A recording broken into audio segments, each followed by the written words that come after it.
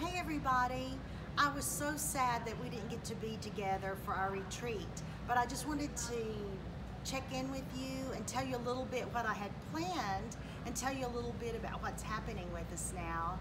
It's so crazy. The morning that I was flying to Norway was the morning after we got the information. So I was actually getting ready to go over to the airport. We were at a hotel by the airport. I was just gonna walk over and come see you guys. And then we got the word. So we went over and tried to rebook our flights to come back. That was on Thursday morning.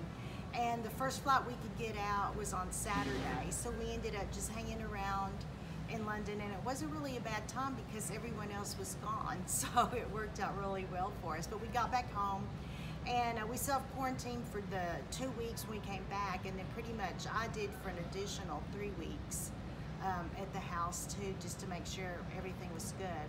I've come back to the store now uh, to work a little bit with just our core group inside.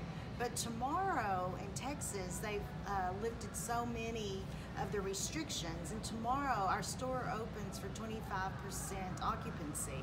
So customers will be coming in tomorrow and all over most of Texas. So we'll see how all that goes. I hope all of you are doing really well. I know that some of you had, were out of the country and we're trying to get back in and it was just a crazy time. But my biggest disappointment was that we didn't get to be together and I wanted to show you a little bit about what we were going to do. Maybe we'll have an opportunity to do it again later, but brand new was the theme and these were gonna be your totes. I kept them, so I brought them all back home and we were going to study in Ephesians the verse brand new, which is kind of works out really well now because we're all into something new and we're all coming out in a brand new way.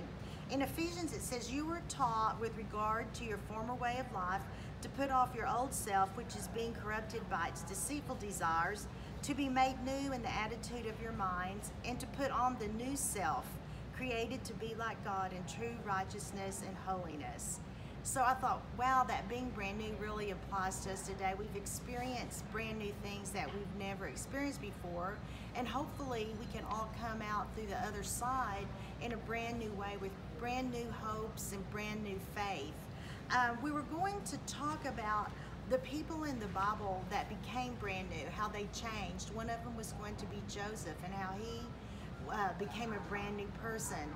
Uh, Mary and Martha, how they changed, Mary and Elizabeth.